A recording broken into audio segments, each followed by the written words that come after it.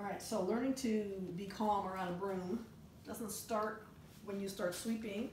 Um, it starts with just the presence of the broom. And the presence of the broom means I will feed you. Hi, little man.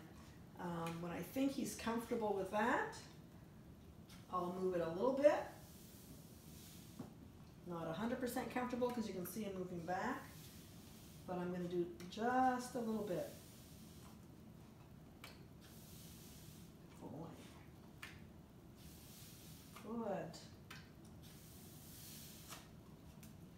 I'm not going to move to back and forth motion until I see he is 100% comfortable, and I'll do it bit by bit and not even necessarily right now.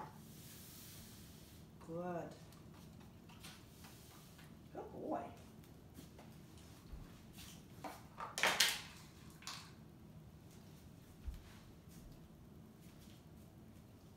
And keep it further away.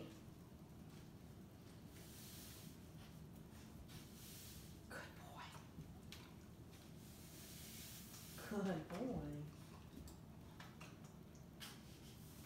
I don't need him to love the broom, I just need him to not chase it.